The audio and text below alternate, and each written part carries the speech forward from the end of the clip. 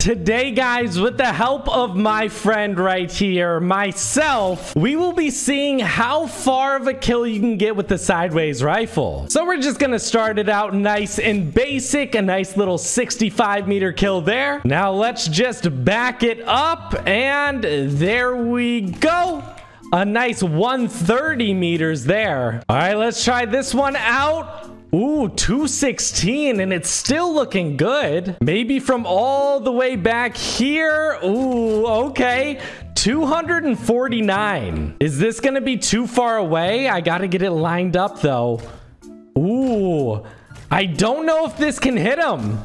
It looks like it should be hitting him right here. All right, we're going to move forward a little bit and keep shooting at him. And we'll see if one of these hits him at 267. So 274 was the furthest kill you could get with the Scar.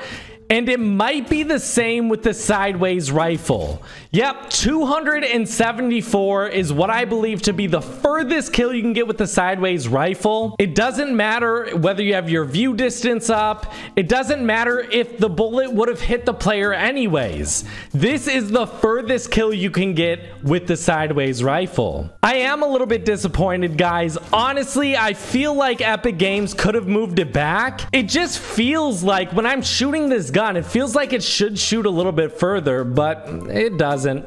I'll see you guys later. Bye, guys.